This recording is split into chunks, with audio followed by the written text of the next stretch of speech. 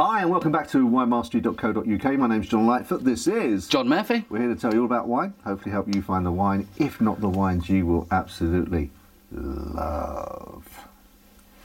So, in this episode, we're looking at a slightly unusual, unusual from that point of view that the first two wines in, in part one, part two, we've not actually ever tasted before. So, uh, the first grapes we've not tasted before.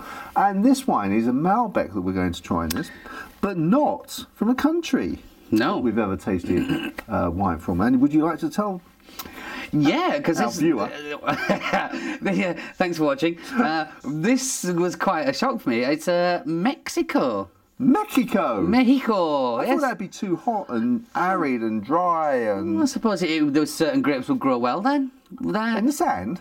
I, I don't know. You don't I- hear of any in Saudi Arabia, do you? You don't? No, no, no. I, I never have. But then, to be fair, you know, I, I don't even know if the, a Mexican wine was on my radar. I don't even know if I. No, I've definitely not tried one. No. Uh, we've tried Malbecs before, though. I think we've, we've done a video probably on the Malbecs somewhere in, in, in there. And um, so, yeah, I don't I don't know what to think. I don't know whether it's going to be brilliant or I don't know.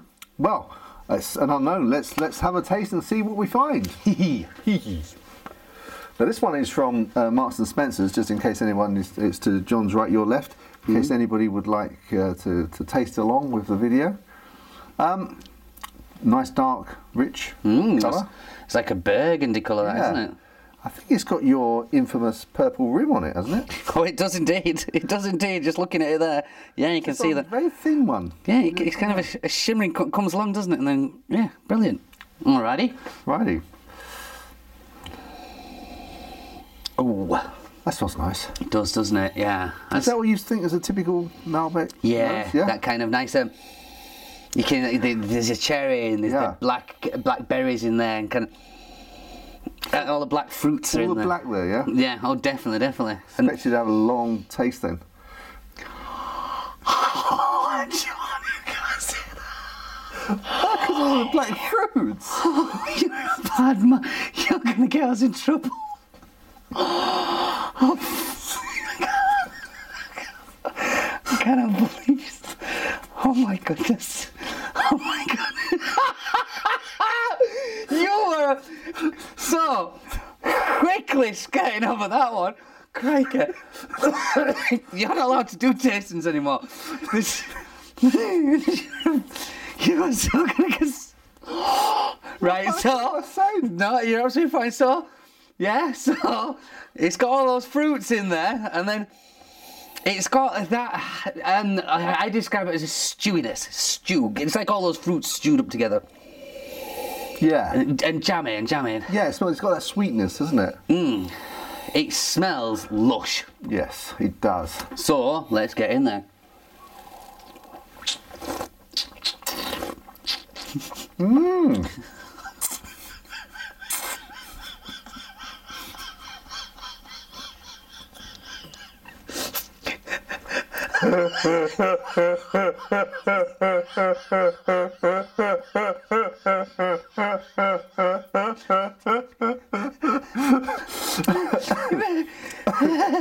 You made me.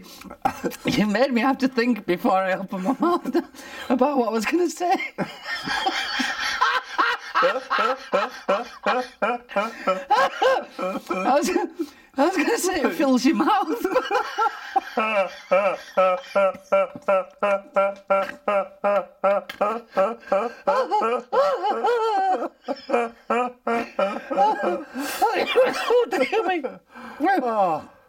Stop it now. That- Stop it. Stop it ah. there. well, Excuse me. I said. Just I need a minute, John. Give me a minute. Just a second. Oh dear me. Excuse me. Sorry. right. Right. Back to the wine. Yes. So yeah. Now let's have another taste. Actually. Just to remind you.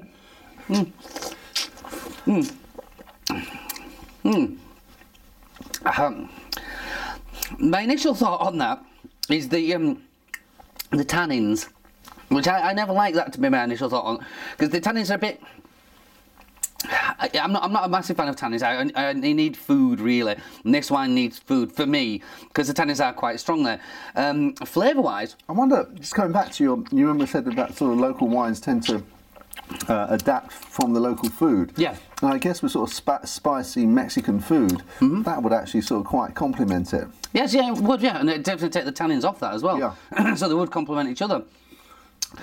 On the, on the flavour front, though, I got a lot more on the nose than I thought I would get. Uh, I know I, I thought I'd get a lot of flavour from that, but it is a big wine, but not as big as the nose would have suggested.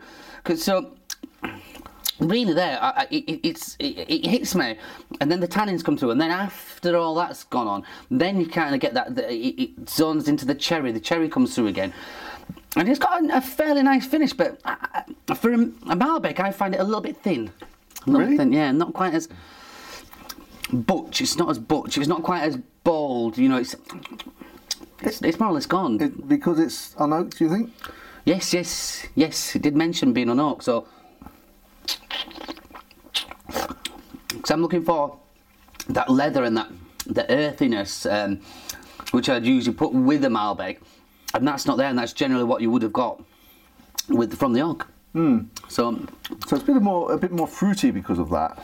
yeah, it's uh, well, it's, it, instead of having the complexity and getting hitting all those levels, you are just getting the fruit. Yeah. So I suppose, in a way, it's good because you are just concentrating on that one, and you're not trying to find all the others. But Yeah. Mm, but um, it's not what. But to be fair, it's it's a Mexican red wine. I never thought I'd. Absolutely, I, I, I, I'm just amazed that they can. Uh, obviously, there must be sort of microclimates within Mexico that, uh, that they managed to grow it in. But uh, I mean, I thought it was a very decent, very very tasty, very fruity wine. Uh, and I think again, this is where you're sort of saying this is how it should taste as a Malbec. You're not hitting those buttons, so you're being critical of it. But Yeah. but as a as a wine, I agree the tannins are pretty, you know, quite quite uh, high. But again, I think as we said, you know, that with uh, local uh, food and Yeah, yeah. Mexican food, I bet this would be a fantastic treat. Well, I think I think it would because once once those tannins have come off there, which also I mean for me they do hide a lot of things as well at the time. Once the tannins are off, then you'd just be like it'd be like cherry juice, wouldn't it? Just be- Yeah. that's all that's all you get from that. Yeah. Very nice indeed. Well, score wise, now I know you're going to hit it a little bit low because it's uh, not hitting your buttons as far as what Malbec should taste like. Yeah, yeah, uh, it's true to say, and I will probably rate, this as a Mal- as a Malbec. It's going to be down at seventy Really? Yeah, that low. for a Malbec. Yeah. Okay, well, I think I'll, I'd put this at sort of 75. Um, I think it's a, a nice taste. I'd say maybe the only bit I'm taking it down from is because of the tannins. It's a little bit high for my personal taste, but again, that's because we're just taking this straight without any, any, any food. Neat, neat, in the cellar. neat in the cellar, yeah, neat in the cellar. So, price wise, price wise, it is from M&S and Marks and Spencers for those of you uh, that are watching this outside of the UK, uh, the sort of retail shop that tends to be price things a little bit higher. Mm-hmm. Um, well, so what would you say? you know, it's, it's, um, you know what? This again is a bit of an anomaly because I don't know what a Mexican wine if it'd be more expensive because they don't produce as much, or I'm assuming they don't produce as much, or if it's really well priced. So. Well, I'll, gi- I'll give you what I personally pay for Yep. it, and then we'll uh, then then I'll give you the price. So I would personally pay for that, perhaps seven pounds as a Malbec, seven to eight pound, and seven fifty will go in the middle. Okay. I think as a Malbec from Marks and Spencers, I think they're going to be selling that. It's difficult in Mexico. I don't know. I'm going to throw out and say a tenner. I, th- I think that's Well, actually selling it for nine quid. ooh close, close. Yeah, so they're probably seven pound fifty, but the rest is the uh, carriage from Mexico. quite possible. the donkey. the Donkey. I don't know.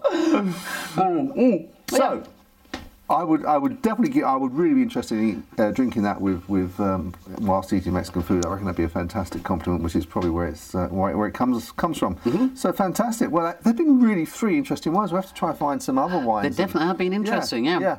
Yeah, obviously, I think from your point of view, the first two, well, and mine in terms of scoring, the first two uh, were better than this one, but this is still worth. For anyone who likes Malbec and wants to try something a little bit different, Hmm. still very much worth trying.